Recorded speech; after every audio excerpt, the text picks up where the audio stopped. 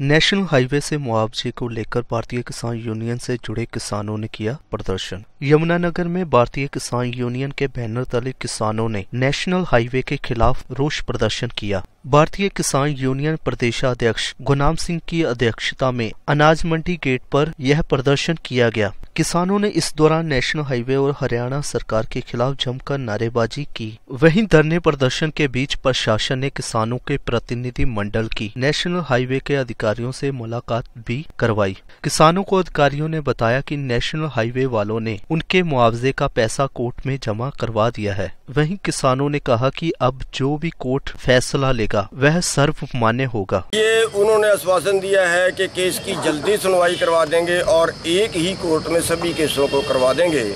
और जो अब डेट डली हुई है, उसको भी हम जल्दी करवा देंगे, अर्ली हियरिंग लगवा देंगे। और जो एन वाले हैं, उन्होंने कोर्ट में अर्ली हियरिंग के लिए भी लिख के दे दिया है और उन्होंने कोर्ट में पैसे जमा करवाने के लिए भी लिख के दे दिया है। तो अभी हमने ये फैसला कर लिया है कि अभी इस आंदोलन को स्थगित करवाएँगे, क्योंकि जब पैसा वो कोर्ट में उन्होंने जमा करा दिया, वो पैसा एक तरह से ये है कि उनके पास से आ चुका है। ये हमारी उसमें डेवलपमेंट है और केस की जो है वो जल्दी सुनवाई की करने की बात कर रहे हैं। तो अभी आंदोलन चलाने का कोर्ट में पैसा जाने के बाद आंदोलन चलाने का कोई मतलब नहीं बचता है।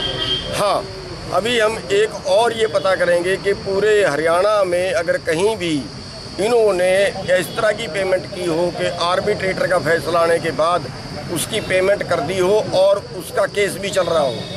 अगर हमें कोई ऐसा केस पूरे हरियाणा में मिला तो फिर हम दोबारा पंचायत इसके बारे में ज़रूर बुलाएँगे और फिर अगला निर्णय उस पंचायत में ज़रूर लें। मांग है हमारी कि जो आर्बिट्रेटर ने फैसला सुनाया है, जिसमें उन्होंने मुआवजा बढ़ाया है, वो बड़ा मुआवजा किसानों को दिया जाए।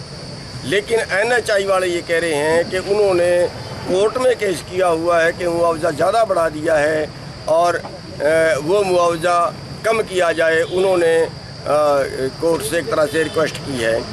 तो अब उसमें वो पैसा कोर्ट में जमा करवाने के लिए तैयार हो गए हैं, जो आर्बिट्रेटर ने फैसला सुनाया है।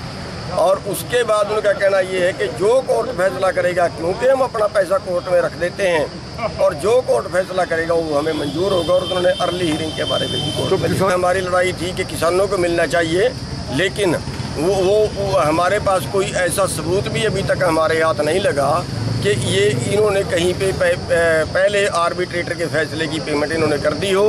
और उसका केस भी चल रहा हो। ऐसा हम सबूत अभी तक नहीं ढूंढ पाए हैं। इसलिए हमें उनकी बात कबूल करनी पड़ी है कि वो पैसा हमें ना दे के वो कोर्ट में दे दें।